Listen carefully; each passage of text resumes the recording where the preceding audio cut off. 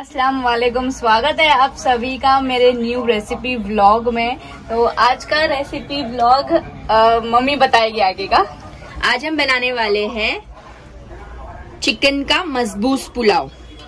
इसे हम मजबूस बोलते हैं। ये एक अरेबिक डिश है। आ, मेरी नानी बनाती थी ये। तो हमें क्या क्या चाहिए मैं आपको बताती हूँ। ये हाफ़ के जी चिकन है। उसके लिए दो बड़े आलू मैंने पील करके ली हूँ। बड़े साइज़ के आलू। ये दो चम्मच हरा मसाला है। ये दो अनियन से स्लाइस करके ली हूँ मैंने, और ये एक टमाटो चाहिए। ये एक मुट्ठी धनिया है हरा, और ये चार से पाँच हरी मिर्ची है। दही चाहिए हमें, और एक मैगी क्यूब चिकन स्टॉक बोलते जिसको, मैगी क्यूब्स भी बोलते हैं, उसका एक पैकेट चाहिए। और ये कुछ खड़े गरम मसाले हैं, उसमें दो तेज पत्ता है, एक तज है, एक बड़ी इलायची है, तीन चार लौंग है, काला मिरी और जीरा है। ये आपके हसबे ज़रूरत नमक और आधी टीस्पून गरम मसाला। ये सब हमें चाहिए और ऑयल ऑब्वियसली अभी मैं आपको बताती हूँ इसको मैरिनेटेड करने के लिए। सबसे पहले इसमें के लिए हमें हरा मसाला सबसे पहले चाहिए। वो मैं चिकन में ऐड कर दूँगी।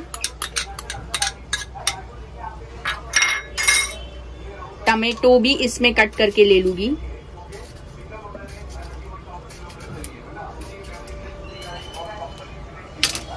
गरम मसाला भी डाल दूँगी।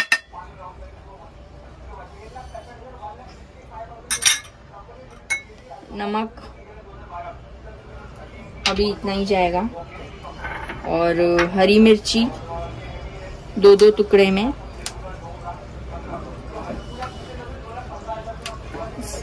और इसमें हरा धनिया भी मैं अभी ही डाल दूँगी।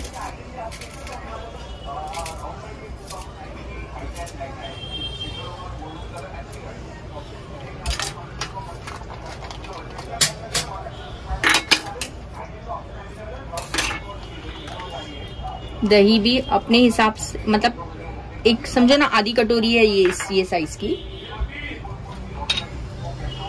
और आलू भी मैं इसमें डालूँगी अभी।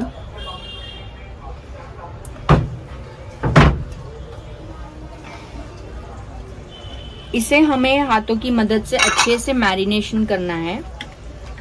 मतलब आलू चिकन सब एक साथ मिक्स हो जाए।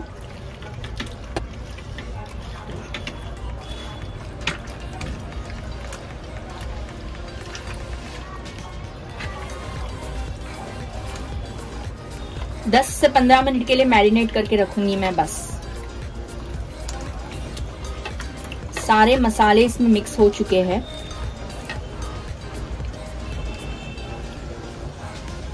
बस। तेल गरम हो चुका है, मैंने इसमें छह से सात चम्मच ऑयल डाली हूँ। पुलाव में थोड़ा तेल ज़्यादा लो तो अच्छा लगता है। अब मैं इसमें गरम मसाले सब ऐड कर रही हूँ मेरे।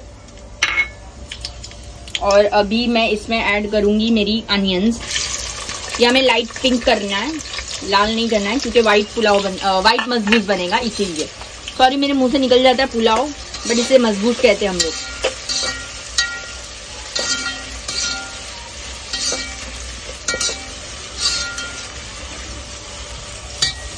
पिंक हो चुका है अनियन। अभी मैं ऐड करूँगी मेरा मैरिनेटेड चिकन और पटेटो जो मैंने मैरिनेट करके रखा है। वो।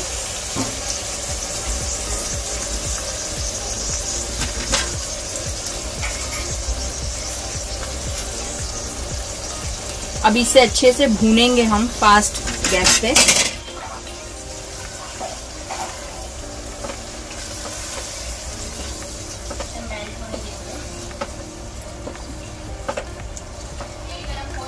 हमारे थोड़े पटेटोज भी गल जाएँगे और चिकन भी थोड़ी गल जाएगी।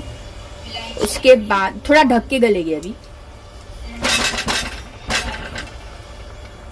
गाइस मेरा चिकन हाफ़ डन हो गया है और आलू भी हाफ़ डन हो गया है।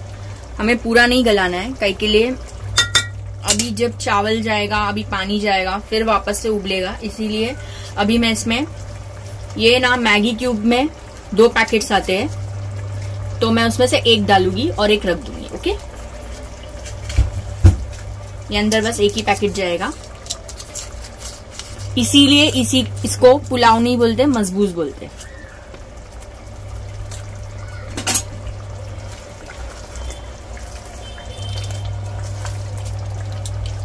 गैस का फ्लेम मैं हाई कर रही हूँ और पानी डालूँगी अभी।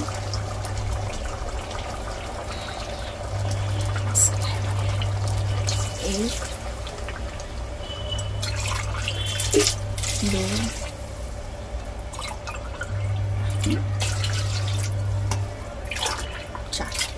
बस, इतना ही पानी चाहिए मुझे। अभी ये पानी जब तक बॉईल होएगा इसमें नमक ऐड करती हूँ अभी मैं। मैगी क्यूब में भी नमक बहुत सारा होता है तो नमक थोड़ा हिसाब से ही डालो। मतलब आप लोग जितना खाते हैं ना तो खारा नहीं हो जावे। अब ये पानी बॉईल होएगा। उसके बाद मैंने चावल डालना है। ये देखो, मैं चावल भिगा के रखी हूँ। बासमती चावल ली हूँ मैंने। इसे मैंने सोप करके रखी हूँ आधे घंटे के लिए। ये भी वॉश करके रखी हूँ। ये बाद में बॉईल आने के बाद पानी मेरा उबल चुका है। अब मैं राइस ऐड कर रही हूँ।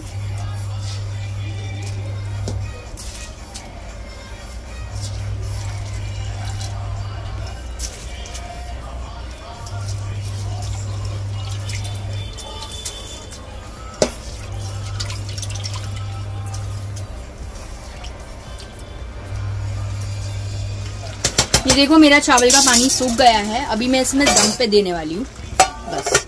इसे धीमी आँच करके अब मैं दम पे दे रही हूँ।